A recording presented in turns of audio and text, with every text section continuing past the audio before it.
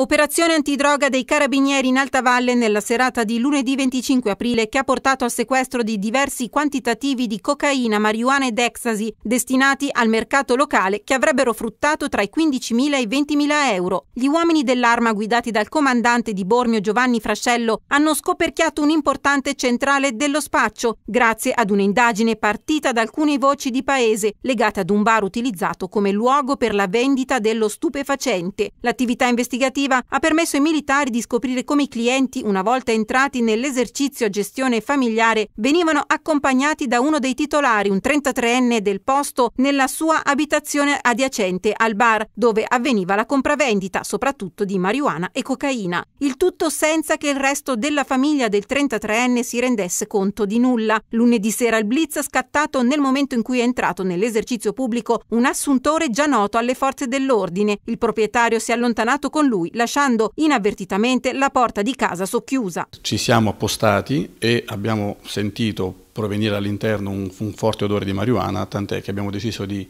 irrompere nell'abitazione e al nostro accesso abbiamo visto appunto che la persona tratta poi in arresto si è piegata su se stessa per celare, per coprire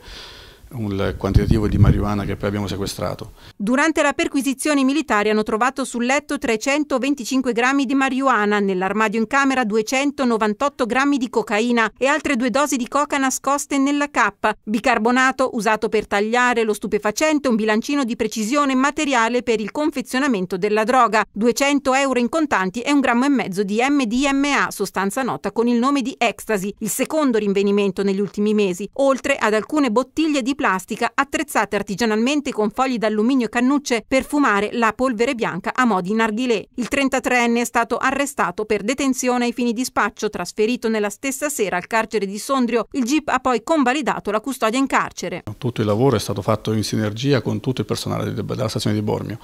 eh, sfruttato sia in abiti civili che con, in, in, uniforme e con i, le auto di, con i colori d'istituto. È stato un, un evento importante, è stata un'operazione importante perché ha visto coinvolto l'intero reparto. Ancora un arresto per droga in Alta Valle, certamente non il primo per i militari coordinati dal capitano dei carabinieri di Tirano Luca Mechilli. Sicuramente eh, gli ultimi arresti eh, ci fanno ritenere che anche in Valtellina eh, questo fenomeno abbia preso piede. Ecco, eh, diciamo che le dimensioni non sono preoccupanti, non c'è un allarme sociale, però eh, c'è eh, sicuramente il dato che,